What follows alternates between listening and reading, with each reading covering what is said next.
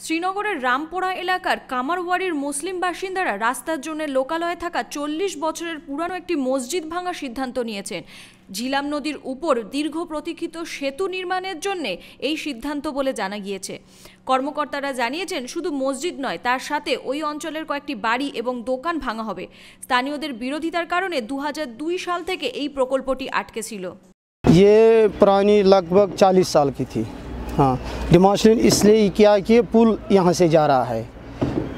इस्लाम एक अमन पसंद है। पुल डीसी साहब ने भी हमारे से कोऑपरेट किया अच्छे तरीके से। ये पुल यहाँ से आया हमने वेलकम किया उसको हम उस, उस, उसने उसने हमको बुलाया वहाँ पे। बोला चलो हम आ- आओ आप आओ कोऑपरेट करो हमारे साथ। हम गए वहाँ लोगों के बहबूद के लिए किया क्योंकि यहाँ ट्रैफ़िक जामिंग होती है। हमने उससे कुछ वादे किए। इन रामा वो पूरा करेगा इन প্রশাসন এবং মসজিদ কমিটির মধ্যে চুক্তি স্বাক্ষরের চব্বিশ ঘণ্টার মধ্যে এই কাজ শুরু হয়েছে। চুক্তি অনুযায়ী বারো মাসের মধ্যে পার্শ্ববর্তী এলাকায় পৃথক জমিতে মসজিদের পুনর্নির্মাণ করবে প্রশাসন যার সমস্ত ব্যয় জেলা প্রশাসন বহন করবে।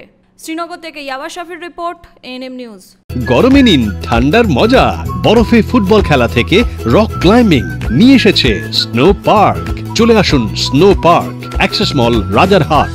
ময়লা ফেলছেন জানেন তো কোন ময়লা কোন বাক্সে ফেলবেন? আপনার পদক্ষেপ, আপনার পরিচয়। Green city, clean city.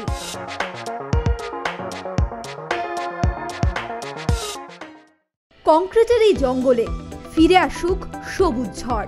বন্ধ করে প্লাস্টিক, পরিবেশ হোক পরিষ্কার।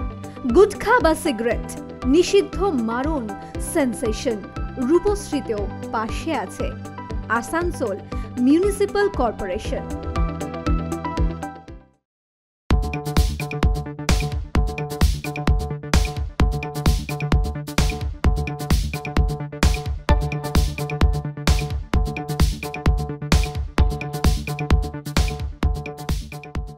আরও খবরের আপডেট পেতে সাবস্ক্রাইব করুন আমাদের ইউটিউব চ্যানেলটি আর বেল আইকনে ক্লিক করুন নোটিফিকেশনস পেতে।